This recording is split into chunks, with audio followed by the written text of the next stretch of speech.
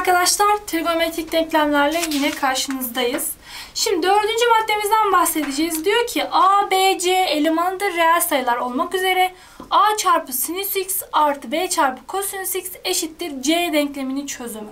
Böyle bir denklem verildiğinde kökünü sorduğunda ne yapacağız ona bakalım. Şimdi buradaki A sıfır olmamalı. Neden? Çünkü ben buradaki sinüs x'i yalnız bırakmak istediğimde bütün işlemi ne yapıyorum? Hepsini A'ya böldüğünüzde bakın. Şuradaki A'lar sadeleşiyor. B bölü A olacak burada. Burada da C bölü A kalmış oluyor. E, paydadaki değerim ne? A. E, paydayı sıfır yapan bir değer A olamaz kesinlikle. E, o zaman sıfıra böldüğümde ne olacaktır A? Yani burayı tanımsız yapacaktır. O yüzden verilen denklem için A eşit değildir sıfır şeklinde düşünerek her bir tarafı A'ya bölüyorsunuz arkadaşlar. En kötü ihtimal burayı 1 olarak verir. Yine 1'e bölmüş gibi düşünebilirsiniz. Burayı bu şekilde yazdıktan sonra şuradaki B bölü A durumu var ya burası tanjant alfayı söylüyor. Buraya tanjant alfa denilerek de denkleminizi çözmeye devam edeceksiniz arkadaşlar. Ne demek istediğimizi hemen anlatalım. Şimdi sinüs x artı kosinüs x eşittir 1 verilmiş. Bu denklemi de benden çözüm kümesini istiyor. Bakın burada da bir 1 var, burada da bir 1 var değil mi? Eğer tarafı 1'e böldüğünüzü düşünün yine fark etmez. Şimdi bana diyor ki kosinüsün önündeki katsayıyı neye eşitle demişti bana arkadaşlar? Tanjant alfaya eşitle demişti. Tamam. Şimdi ben bu 1'i tanjant 45 olarak alabilirim. Bir değerim 45, 45, 90. 1, 1, kök 2 değil miydi? E o zaman benim zaten tanjant değerim buradaki değer ne oluyor? 1 hangi değerine eşit oluyor? Tanjant alfanın 1 olduğu değer nereye eşit oluyor arkadaşlar? Tanjant 45'e eşit oluyor. O zaman benim buradaki alfa değerim 45. Yazıyorum. Sinüs x çarpı şey artı tanjant 45 çarpı kosinüs x eşittir 1. Tanjant 45 idi arkadaşlar. Hemen şöyle yazalım. Sinüs x artı tanjantı da sin 45 bölü kos 45 çarpı yine kosinüs x'in eşittir 1 olarak yazdım. Denklemi bu hale getirdikten sonra şimdi paydaları eşitleyerek işlem çözerseniz arkadaşlar şunun paydasında 1 var. Bunu neyle genişleteceksiniz? Kosinüs 45 ile genişleteceksiniz ki paydaları birbirine eşit olsun. Sinüs x çarpı kosinüs 45 artı sinüs 45 çarpı kosinüs x eşittir. Paydasındaki kosinüs 45'i buraya çarpım olarak atarsanız kosinüs 45'e demiş olursunuz. E arkadaşlar şimdi bakın burada bir toplam formülüm var değil mi? Yani sin kos, sin kos. Aradaki işarette artı. Neydi bunun formülü? Sinüs paylaşımcıydı hem kosinüse hem sinüse veriyordu. Aradaki işareti de neyse onu yapıyordu arkadaşlar. O zaman sinüs x artı 45 derece neye eşit? Şurası sin artı şey sin 40 x artı 45'e eşit. E bu da kosinüs 45 olacakmış. E şimdi ben bunu sinüs x eşittir sinüs y ya da kosinüs x eşittir kosinüs y'den de bulabilirim ama sinüse çevirmek daha kolay geldi. Çünkü biliyorum ki ben kosinüs 45 eşittir sinüs 45'e. Şunun yerine ben sin 45 yazarsam sinüs x artı 45 derece eşittir sinüs 45 derece diyebilirsiniz arkadaşlar. E burada da ne diyorduk? Biz iki tane kökümüz oluyordu değil mi sinüsteyken? Öncelikle birinci kökümüzü yazacak olursanız şu x artı 45 eşittir. Yani şurası eşittir. 45 derece artı 2k pi diyorduk. İkincisi de neydi arkadaşlar? x artı yine 45. Yani burası buradaki açı eşittir.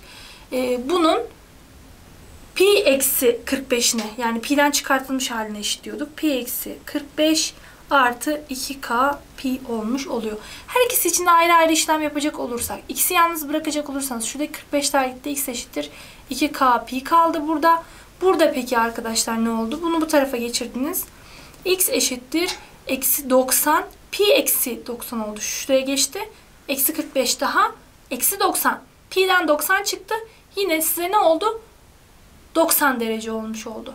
Yani pi bölü 2 yazalım mı onun yerine? 90 derece yerine. Artı 2k pi olarak bulduk.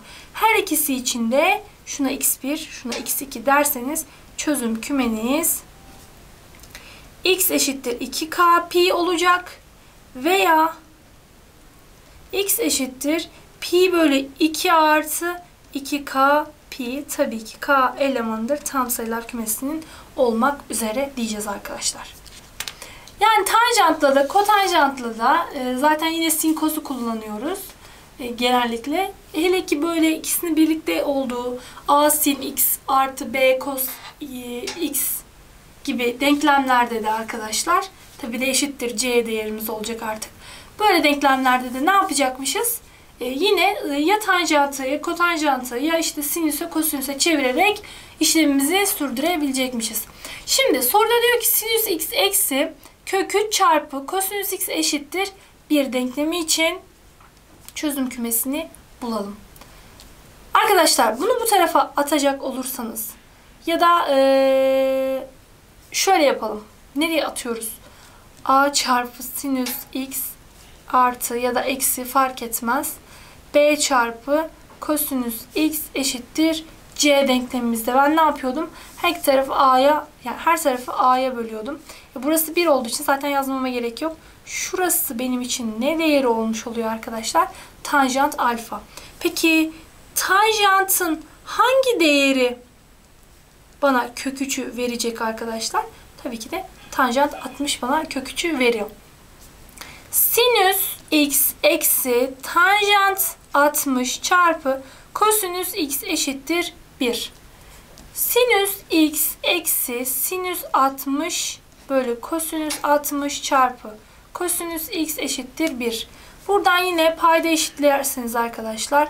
Gelecek değer şudur. Sinüs x çarpı kosinüs 60 eksi sinüs 60 çarpı kosinüs x eşittir kosinüs 60 olacaktır. Şurasının da açılımından ne gelecek? Sin kos, sin kos, sinüs x eksi 60 derece size neyi veriyormuş? Kosinüs 60 dereceyi veriyormuş arkadaşlar. Sinüs yine kosinüse eşit. Ben bunu yine sinüs üzerinden gidecek olursam, yaparsam kosinüs 60'da sinüs 30'a eşittir arkadaşlar. Birbirini 90 derece tamamlayan açıların sinleri koslarını birbirine eşitti zaten. E buradan gelen şu değil mi? Eşittir sinüs 30. Şununla şu. Ben burada köklerimi yazacak olursam her ikisi için de ayrı ayrı yazalım. x eksi 60 eşittir 30 derece artı ne diyordum ben? 2k pi diyordum. Bir de ne vardı arkadaşlar? Diğer kökümüzde yine x eksi 60 eşittir pi'den çıkartılmış haliydi değil mi? Yani pi eksi 30 artı 2k pi diyorduk. Her ikisi için ayrı ayrı işlem yaparsanız buradan x eşittir 90 derece yani pi bölü 2 artı 2k pi. Şuradan da x eşittir bu bu tarafa geçti. 60 e, 30 oldu. Yani pi artı 30 kalmış oldu. Artı 60 geçti. Eksi 30 daha artı 30. Artı 2k pi olarak bulduk. Burası x1 kökünüz. Burası x2 kökünüz arkadaşlar. Tabi ben buradaki x1'e ne diyeyim? Pi bölü 2 diyeyim. Şuradaki pi'ye de e, şuradaki 30'a da pi bölü 6 diyerek işlem yapalım arkadaşlar. Çözüm kümesini yazalım. Şuraya ne dedik x1 için? x öyle ki x eşittir pi bölü 2. 90 yerine pi bölü 2 yazdım. Artı 2 k pi veya x eşittir şuradan eşitliğini yazalım. Pi artı pi bölü 6 artı 2k pi. Arkadaşlar x2 ne oldu burası? 7 pi bölü 6 artı 2k pi oldu. Tamam bunu da yerine yazıyorum. 7 pi bölü 6 artı 2k pi'den gördüğünüz gibi çözüm kümemizi bulduk. Tabi k da eleman olacak yine tam sayılar kümesinin. Evet gayet güzel anlaşılır bir şekilde çözümünde yaptıktan sonra geçiyoruz bir sonraki soruya. Diyor ki kök 3 sinüs x artı kosinüs x eşittir kök 3. Ben buradaki a'yı kullanmıyordum. Ne yapacaktım? Kosinüsün önüne getirmem lazım. Her tarafı a'ya yani şu sinüs x'in çarpanına bölüyorum. Bölelim. Şöyle tamamını tabii ki. Bölü kök 3 derseniz kök 3 şöyle yazalım. Kök 3 çarpı sinüs x bölü kök 3 artı kosinüs x bölü kök 3 eşittir 1.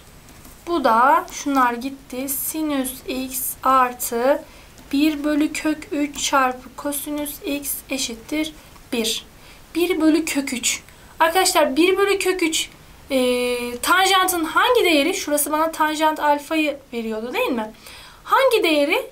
Tanjant 30 1 bölü kök 3'e eşit olacak arkadaşlar. E, o zaman tanjant 30 ya da tanjant pi bölü 6 eşittir 1 bölü kök 3 ise buraya ben tanjant pi bölü 6 yazarak işlemimi çözmeye devam edeyim. Sinüs x artı tanjant pi bölü 6 çarpı kosinüs x eşittir 1. Yine bunu sin bölü kos olarak yazıyorum. Sin bölü kos derseniz sinüs x artı sinüs pi bölü 6 bölü kosinüs pi bölü 6 çarpı kosinüs x eşittir 1.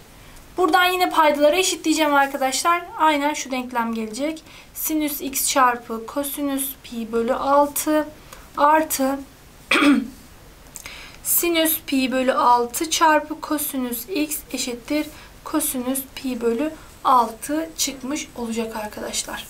Şimdi yine burada sin, sin kos sin kos varsa sinüs x artı pi bölü 6 oldu. Karşılığı ne? Sin, şey kosinüs pi bölü 6. Kosinüs pi bölü 6 da ne eşit arkadaşlar? Kosinüs 30. Sinüs karşılığı da bunun sinüs 60 olacaktır. O zaman sinüs 60 veya sinüs pi bölü 3 diyerek işlemimize devam edelim. Sinüs pi bölü 3 eşittir. Sinüs x artı pi bölü 6 derseniz iki ayrı kökünüzü nasıl yazıyoruz şu anda? x artı pi bölü 6 eşittir. Pi bölü 3 artı 2k pi veya x artı pi bölü 6 eşittir. Burada da yine ne yapıyorsunuz? Pi'den çıkartarak ikinci kökünü yazıyorsunuz. Eksi pi bölü 3 artı 2k pi olacak. Buradan tabii ki e, işlemlerinizin sonucundan x1 eşittir. Pi bölü 6 artı 2k pi geliyor. Buradan da x2'niz arkadaşlar pi bölü 2 artı 2k pi gelmiş olacak. Şunu bu tarafa atıyorsunuz. E, bunu da bu tarafa atıyorsunuz. İşlemleriniz sonucunda cevaplarınız bu olacak şekilde yazarsanız çözüm kümenizde aynen şöyle olmuş oluyor.